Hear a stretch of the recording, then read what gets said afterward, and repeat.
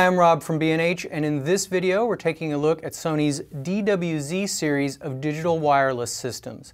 Sony's been in the wireless microphone business for a long time, and their DWX series has been a popular choice for high-end applications like touring artists and massive venues, but that system is expensive. Well, now for musicians, presenters, and smaller venues like houses of worship or nightclubs that don't require all the features of the DWX line, they've introduced the more affordable DWZ series that still delivers excellent digital sound. There are four sets in the series to choose from, the M50 vocal set, the M70 vocal speech set, the B70HL lavalier headset set, and the B30GB guitar set. We're going to take a look at the system and the differences between the sets. And while we look at the different packages, I'm going to use the handheld mics from the M50 and M70 sets, and later the lavalier mic from the B70HL package to record my voice wirelessly to our video camera. The DWZ series operates on the 2.4 GHz ISM broadcast frequency band, which is pretty common for consumer devices. Wi-Fi, Bluetooth devices, even cordless phones operate at around 2.4 gigahertz, and the reason for this is that you don't need a broadcast license for this frequency band. Cell phones, however, do not operate in the 2.4 gigahertz zone, so you won't be getting any interference from them.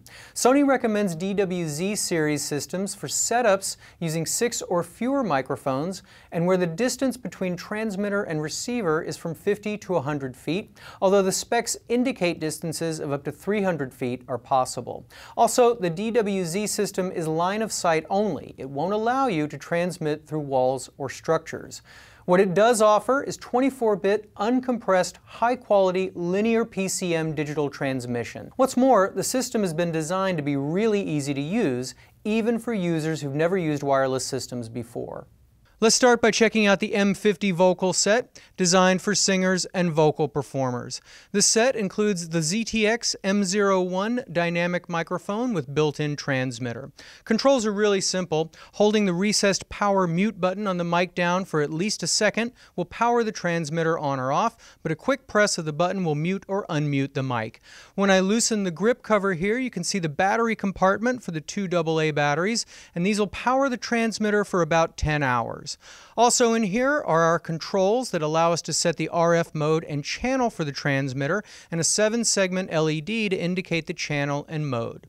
Smartly, Sony has included a button lock switch that locks out the buttons so you don't accidentally mute the mic, power it off, or switch channels during use. The micro USB port in here is for firmware upgrades. The transmitter antenna is at the bottom of the mic underneath this cover. The ZTX M01 comes with a dynamic cardioid capsule, but the capsule is interchangeable. So if you want to swap it out with a capsule with a more narrow or a wider pickup pattern, or even a condenser capsule, you can do that very easily, and those capsules are sold separately. Also in here is an optional pad that can be set to lower the level by either 6 or 12 dB when you're miking louder sources. Overall, the look and the feel of the microphone is really great, very solid, but not too heavy, weighing about one pound with the two AA's inside. Also smart looking is the ZRX HR50 half rack space receiver, which features a nice, easy to read color LCD display, an indenting knob to page through the menus and make setting adjustments. The DWZ series gives you two radio frequency or RF modes to choose from.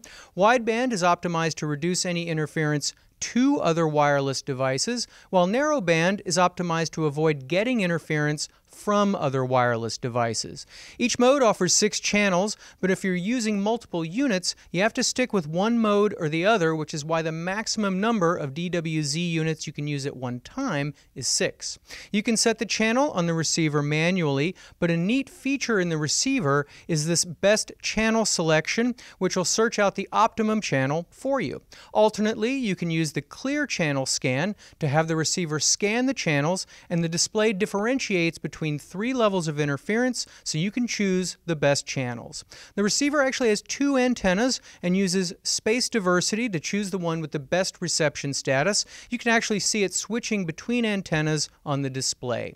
The receiver also has a five band graphic EQ on board. So for example, if you want to pull some low end or boost the highs, you don't need additional gear for that. I also appreciated the fact that the remaining battery time in the transmitter is displayed on the receiver. On the back is a balanced XLR output switchable between mic and line level outs, along with two unbalanced quarter inch outputs, one of which labeled aux tuner can be set to continue to pass audio even when the mute button on the transmitter has been pressed. Similar to the M50 vocal set in the DWZ series is the M70 vocal slash speech set, but there are a few differences. This set also features a unidirectional handheld dynamic mic, and you can also swap out the capsule with different ones. The power button on the ZTX M02RC does not have a mute function, but more interestingly, instead of a button lock switch, there's a switch here that enables 128-bit AES standard encryption for highly secure secure transmission. The ZRX HR70 half rack receiver has the same three output options, but in addition to EQ, also features an optional real time feedback reducing effect to reduce monitor feedback during performances and presentations. There are three levels of reduction available, but the more of the effect you dial in, the bigger the change in sound quality and the more latency you'll get. The high setting adds 16 milliseconds of delay, which is not insignificant. The B70 HL headset and lavalier package also uses the ZRX HR70 receiver, so it also has the encryption and feedback reduction features. Instead of the dynamic handheld mic though, it includes a cardioid condenser headset mic and a cardioid condenser lavalier mic, and that's what you're hearing right now. The transmitter is the ZTX B02 RC body pack transmitter, and it'll also run for 10 hours on two AA batteries, which fit into the smartly designed tray right on the side next to the pad and the mic instrument line switch.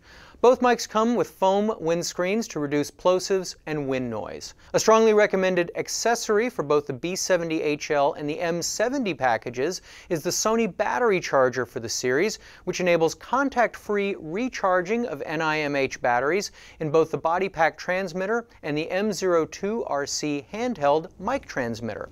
An additional accessory to consider for the half-rack receivers is the RMM HRD1, which allows for single or dual unit rack mounting and extends the antennas to the front of the rack. It's nice and neat. The fourth and final member of the DWZ family is the B30GB for guitar and bass players. This set also features a body pack transmitter, but the ZTX B01 is slightly different in that instead of a mic instrument line switch on the side, it's a mic instrument only switch with the instrument setting optimized for high impedance guitar or bass use. The receiver is also quite different from the other sets. It's smaller, the antenna is built in rather than detachable, and it doesn't feature the color LCD screen. Instead, you'll set the desired RF mode on the back and then dial in one of the six channels on the front. The other dial on the front is called cable tone. A traditional wired guitar setup gets loaded down as the cable length increases, reducing high end. But of course, for a lot of players, that's actually a part of their sound. So for these guys, the sound of a digital wireless system can sometimes be too clean sounding.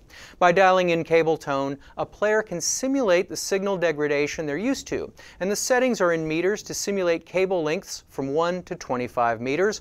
Or of course, you can choose no cable tone at all. Unlike the other receivers in the series, the ZRX C30 offers flexible three-way powering. You can use the supplied AC adapter, a commercially available 9-volt DC power supply, or a 9-volt battery. To test it out and give you a quick idea of how it sounds, we brought in our guitarist, Mr. Mike Callahan, to play a couple of riffs, first with no cable tone, and then with 12 meters of simulated cable tone.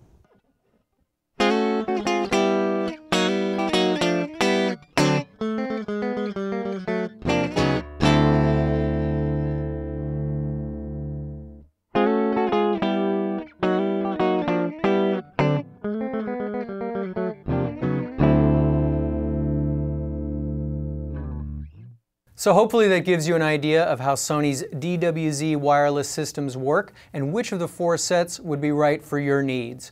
Smartly designed and very easy to use even for folks with no experience in wireless sound, Sony's DWZ systems offer excellent digital wireless sound at an affordable price point.